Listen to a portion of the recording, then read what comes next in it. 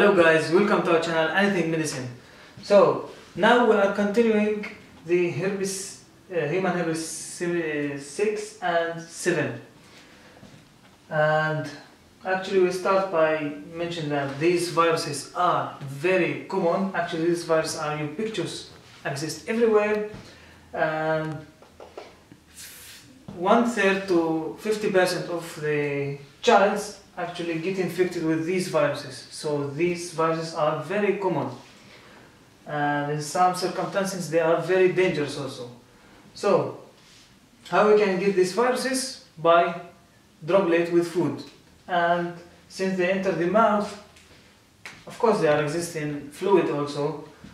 Since they, since they enter the mouth, the mouth, they replicate inside the oropharynx and from the uh, from the pharynx they enter the tonsils and from that to blood.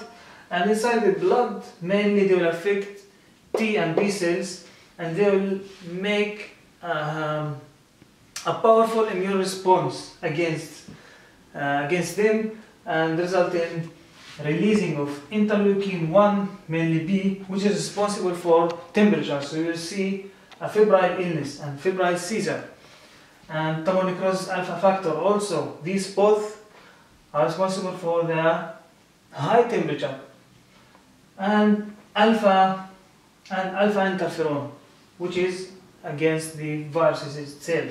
But the most special here for these two viruses, and especially for herb, uh, for virus number six, that that virus make make the cells the other cells that do, do, that do not have CD4 make these cells force them to express the CD4 and by this way it help what? It help HIV infection because HIV HIV virus target the CD4 receptor. So it broaden the type of cells that HIV can infect can infect it. So Remember, this is a special for these viruses. So, clinically, what we will see? Clinically, in normal children, normal child. Um, okay, of course, this, this virus is uh, latent virus, yes? Once you're infected, it's for all life. Same with cytomegalovirus, same with herpes viruses, all herpes family like this. But uh, primary, there's primary infection and secondary, when there's reactivation. So, primary infection, characterized by febrile seizures. Actually, uh, febrile seizures actually um, like one one third one third of the emergency room visits cases. Okay, it's one third of causes for emergency emergency uh, visits, and this is twenty percent. Twenty percent the febrile illness. So imagine how much is common. So it can cause febrile seizures because the, the fever will be high, so it can trigger the seizures. And febrile illness, due to high fever, there will be several uh, circum, uh, several uh, uh, sequences and um, yeah, pathologies. So and erythematous macular rashes, which start on neck and trunks, trunk. Okay, so mostly, mostly like this disease, mostly you are, uh, mostly who acquire this virus are children. So, of course, of course, also thor- uh, sore throat will be because of oropharynx uh, replication and there will be also enlarged enlarged uh, lymphatic nodes enlarged pharyngeal pharyngeal uh, lymph. Okay enlarged pharyngeal lymph. But since this disease is characterized by rash and fever it co- it, it's named uh, exanthematous disease and according to the common order according to the common sequence so they classified as six disease, six xanthematous disease. We have six xanthematous diseases, uh, especially for pediatrician, which uh, which classified due to common order. Okay, so first common is varicella zoster, chickenpox. We have studied that in previous videos. Yes.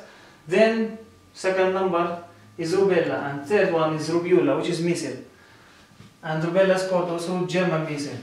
And the fourth common one is scarlet fever. And this, the fifth one is parvovirus. The, it's called also slapped cheek syndrome. The child will come to you as a slapped face, uh, look like appearance. So, and the sixth one is our virus now, Roseola infantum called, or Roseola subitum. Let me tell you that simplex 6 and 7 they are same pathogenesis and same clinically. So simplex 7 called Roseola infantum like. Okay, so because they are look like each other, they didn't made it as sevens. So um, so we have to differentiate between these. All these characterized by like the child will come to you with rashes and fever and sore throat, and then you have to differentiate. So that's why they classify these most common then you have to think about one of these six when the child will come to you with rashes and fever and these manifestations which we, which we uh, mentioned. So, in immunocompromised uh, patients, the virus can reactivate it as secondary infection. And at that time, it will be mostly as a co-infection with cytomegalovirus. Because we already mentioned in previous video that cytomegalovirus is, a, is an opportunistic virus also that can be activated and very associated with AIDS and immunocompromised patient. So it can help the cytomegalovirus with uh, pneumonitis, pneumonitis, and hepatitis, hepatitis, and other inflammations, but mostly these two, pneumonitis and hepatitis. So it can be as a co-infection with cytomegalovirus and again as I told you due to broaden the CD4 cells, broaden the CD4 cells due to broadening, let me tell you like express it like this. Due to broaden the CD uh, CD, CD cells range it increased the HIV fatalities and progress in, promote the progression of HIV virus.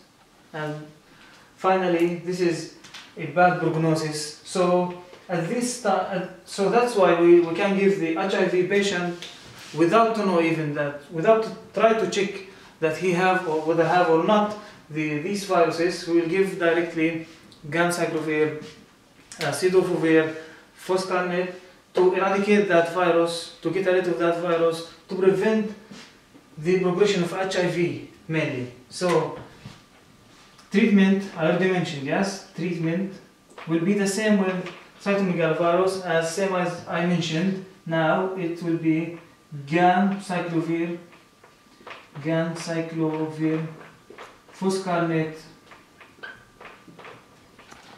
and cidofovir, cidofovir.